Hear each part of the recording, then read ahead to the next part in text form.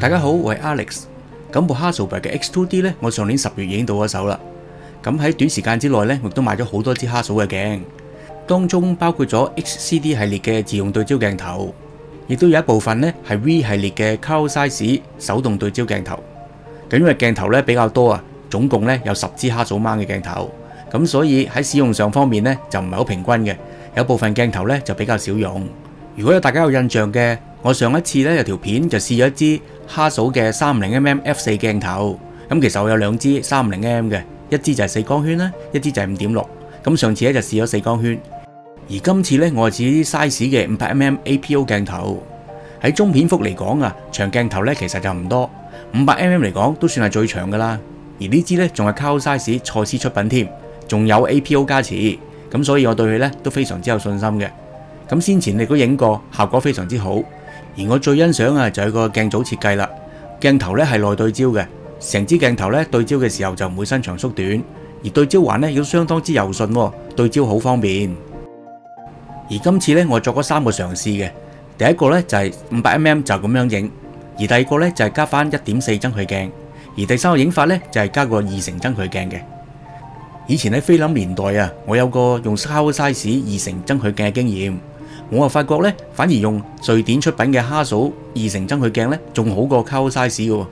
咁所以今次咧，我再买翻嘅增距镜一点四同二成咧，我都系买翻哈嫂瑞典出嘅增距镜啦。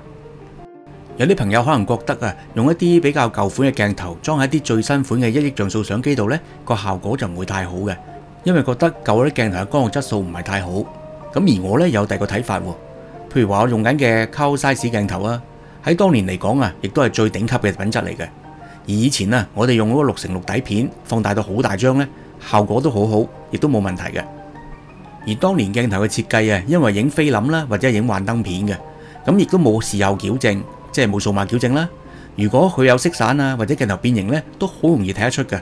咁所以当年嘅镜头咧，佢嘅变形咧系非常之少，而色散咧亦都系好少嘅。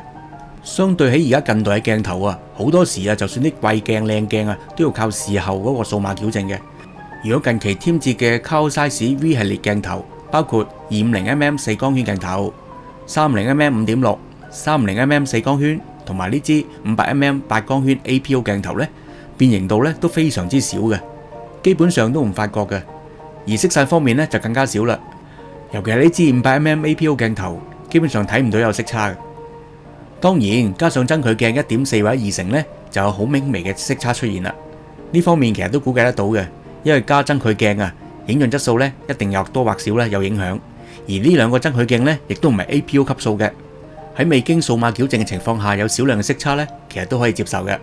如果事后我哋喺 Lightroom 或者 Photoshop 度用个 Lens Correction 将个色差矫正，咁我少量嘅色差呢，都唔会存在噶啦。跟住我又加上咗一点四增距镜。大家睇下个效果又点啊！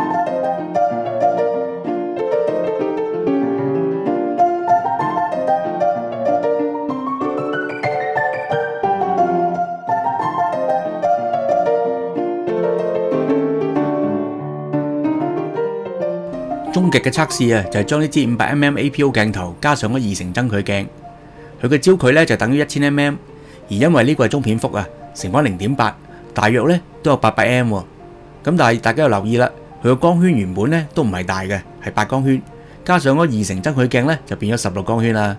如果仍然咧都系保持住 ISO 二百嘅，咁所以个快门咧相对比较慢，得几十分一秒。所以风大嘅时候我就唔会影嘅，我会等啲花定咗落嚟咧，我先揿 shutter 嘅。大家可能有个疑问啊，点解我啊会买几支手动镜头，唔买啲自动对焦镜头呢？咁其实原因好简单嘅，因为哈嫂仲未出咁长嘅自动对焦镜头咯。我手头上呢四支靠 size 镜头啊，当年喺菲林时代呢系非常之贵嘅，而家嘅价钱呢就比当年平好多啦。但我都系当佢临时用住先嘅啫。希望哈嫂啊，尽快出翻啲自用对焦嘅三零 mm 四光圈镜头，再加埋咧原厂嘅一点七 APO 增距镜。咁成个 XCD 镜头系列咧就比较完整啦。其实哈苏嘅卡 size 镜头咧都有两支超级靓镜嘅，就系二五零 mm f 五点六 SA 镜，仲有支咧就系三五零 mm f 五点六 SA 镜。呢两支 SA 镜咧而家二手市场咧都唔平噶。如果新净嘅二五零 SA 咧就要四万蚊以上，而三五零 SA 咧就要七万蚊以上啦。其实仲有支讲漏咗嘅，因为嗰支唔常见。嗰啲就系三百 mm f 二点八，而家 EB 嘅价钱咧，大概系五十几万噶。其实中蝙蝠嘅长镜，除咗哈苏嘅 Carl Size 之外啊，仲都有唔少牌子选择嘅，譬如话曼米亚啦，亦都有唔少嘅 APO 镜头，咁 Pentax 咧亦都唔错噶。而曼米亚同 Pentax 嘅价钱咧就更加抵坏添。今次讲到呢度，迟啲就同大家分享啊。如果觉得条片好嘅，俾翻个 like 我，亦都欢迎将佢分享俾你嘅朋友。拜拜！欢迎各位订阅我哋嘅 YouTube 频道，只需要按订阅同埋按呢个小铃图案，就可以接收到最新上载嘅通知啦。最后记得俾拉我哋啊！多谢各位。